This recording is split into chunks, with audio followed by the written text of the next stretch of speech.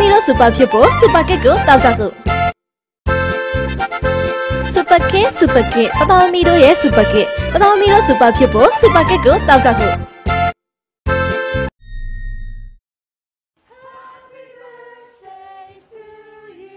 ဗြိတိန်နိုင်ငံ Wales ဒေသမှာလာရောက်အခြေချနေထိုင်တဲ့ကိုချင်းဆက်အမွာညီအမဟာခံမှန်းထားတာထက်အခြေအနေကောင်းမွန်နေပြီးကျန်းမာနေတဲ့အတွက်မိသားစုတွေနဲ့ဆရာဝန်တွေအံ့ဩဝမ်းသာနေကြပါတယ်။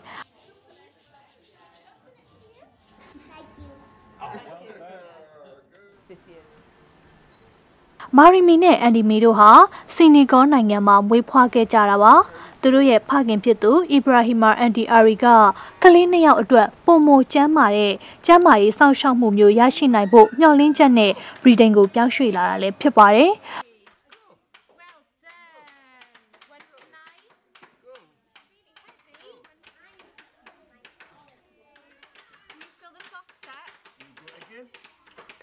အခုတော့ကိုချင်းဆက်အမွှာညီအမဟာကားတစ်မြို့မှာအခြေတကျနေထိုင်နေပြီးကျမ်းမာရေးလည်းတိုးတက်လာနေပါတယ်။မူလကသူတို့နှစ်ဦးဟာရပ်ပိုင်းလောက်ပဲအသက်ရှင်မဲဆိုပြီးတော့ဆရာဝန်တွေကခံမှန်းထားခဲ့တာပါ။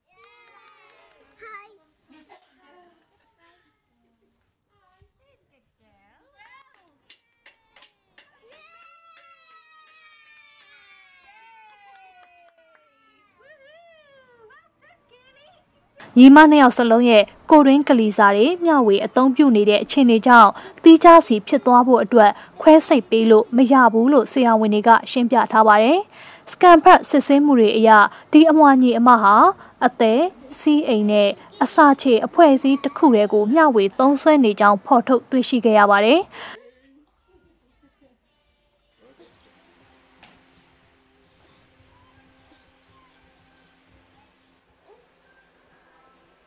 ဒါပေမဲ့နှလုံးနဲ့ကြောရိုးတွေကိုတော့တီးခြားစီပိုင်ဆိုင်ထားပါတယ်။အီဘရာဟီမာကတော့ခွဲစိတ်ဖို့မဖြစ်နိုင်တဲ့အခြေအနေပေါ်စိတ်ပြက်မိပေမဲ့ကလေးတွေကျမ်းမာရေးတိုးတက်လာတာကိုတော့ပျော်ရွှင်မိကြောင်းပြောပါတယ်။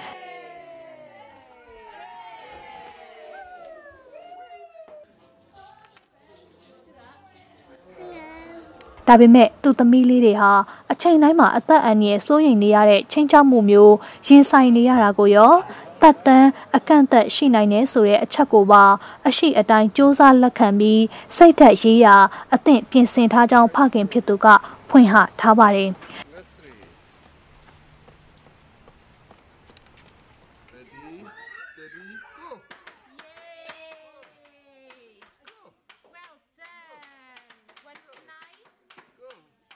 ကလေးမလေးတွေကအခုခါမှာတော့နေကလေးထိန်ကျောင်းတစ်ခုမှာတစ်နှစ်ကိုနာရီပိုင်းလောက်စတင်တက်ရောက်နေပါပြီ။ဒါပေမဲ့စက်တင်ဘာလမှာတော့ကျောင်းချိန်ပြည့်တက်ရောက်ခွင့်ရရှိမှာပါ။ဖခင်ဖြစ်တဲ့အီဘရာဟီမာကတော့ Conjoy Disney ဆိုတဲ့ရန်ပုံငွေအသင်းတစ်ခုကိုထူထောင်ပြီးသူ့သမီးလေးတွေလိုဘဝမျိုးနဲ့မွေးဖွားလာတဲ့အခြားကလေးတွေကိုအကူအညီပေးဖို့ရည်ရွယ်ထားကြောင်းကိုလည်းသိရပါဗျ။